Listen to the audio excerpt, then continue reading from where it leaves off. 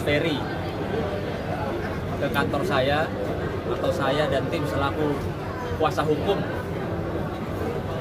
Mas Ferry Irawan yang bertugas untuk menjalankan atau melakukan upaya hukum menggugat cerai Mbak Vena Melinda di Pengadilan Agama Jakarta Selatan.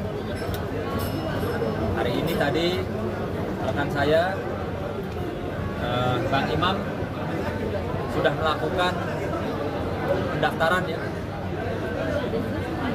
Dan untuk agenda eh, berikutnya tentunya kami menunggu relas panggilan yang di mana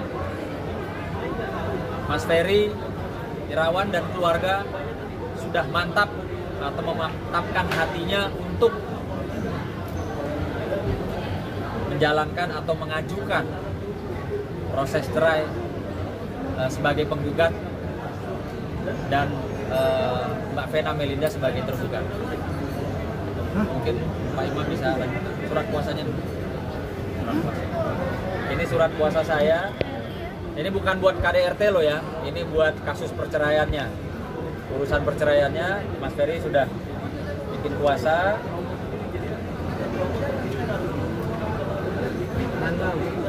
Dan makanan. Iya, Mak.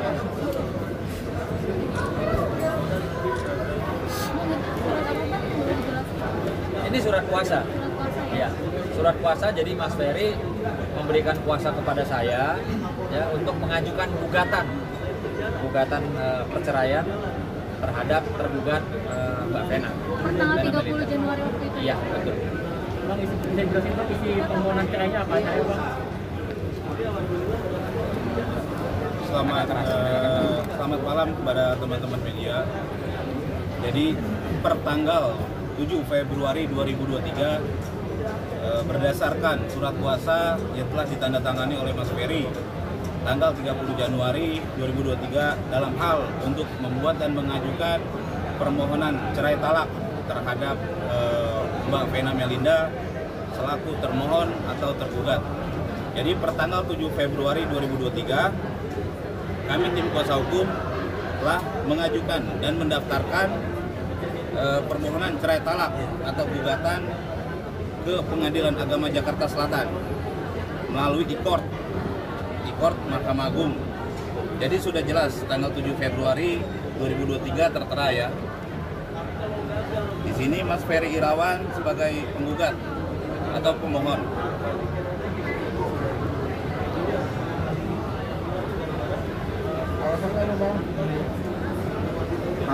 dalam eh, dalam permohonan cerai talak tersebut eh, saya jabarkan adalah secara garis besarnya bahwa permohonan itu termohon. Mbak Vena Melinda yang kami duga dan kami telah eh, masukkan di dalam permohonan cerai talak menjatuhkan harkat dan martabat Mas Ferry Irawan selaku pemohon atau suami dari Mbak Vena Melinda.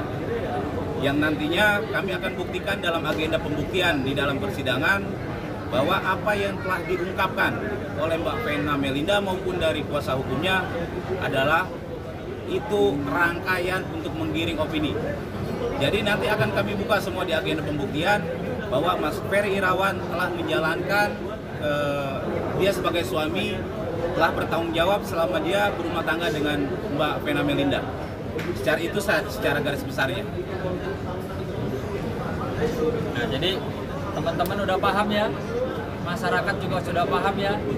Makanya gunakan itu jasa advokat yang masih junior, masih muda gesit.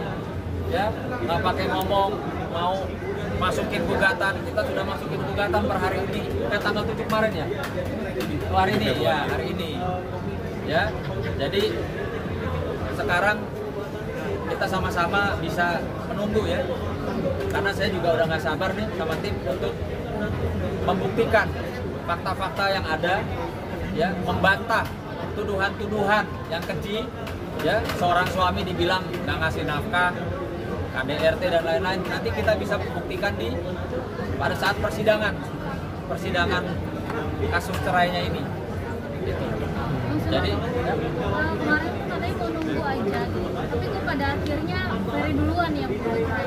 Kenapa? Pertimbangannya apa pertimbangannya ya sudah pasti ya dengan eh, tidak henti-hentinya. Saya katakan tidak henti-hentinya eh, pihak sana maupun melalui kuasa hukumnya yang senior yang hebat itu terus-terusan kan dari awal masalah KDRT-nya lalu masalah ranjang dibicarakan nggak ada kaitannya sebenarnya.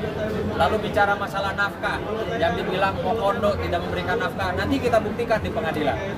Ya lalu yang terakhir dibilang katanya eh, klien saya Mas Ferry itu mengancam akan menyebarkan foto atau video yang tidak pantas atau senonoh apabila tidak mau diajak berhubungan suami istri.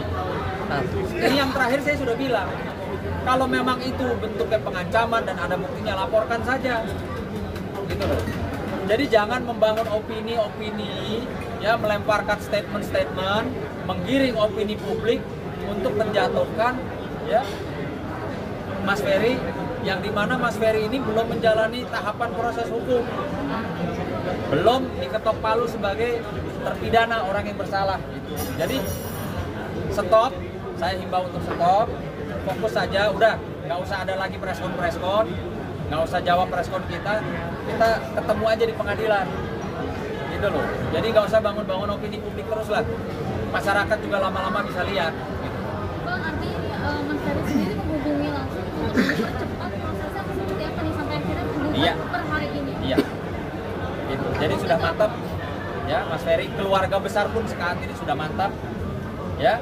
Toh masyarakat juga tahu kok yang menutup pintu memutus silaturahmi bukan pihak kita. Bukan kita. Kita dari awal terus berusaha. Saya pun jadi pengacara. Demi Allah demi Tuhan silakan ditanyakan sama pihak keluarga.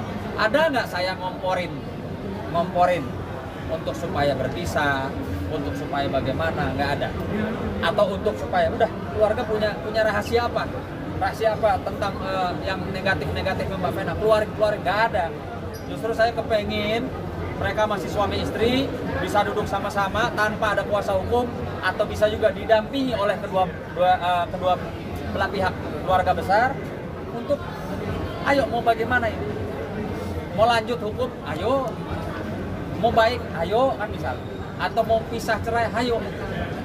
Tapi nggak ada tuh kompor-kompor kanan kiri kanan kiri yang suka kompor-kompor. Akhirnya yang katanya apa orang sudah mau bercerai tidak perlu berkomunikasi. Itu dasarnya apa? Undang-undangnya nomor berapa? Wong di pengadilan saja besok nanti kita sama-sama lihat yuk.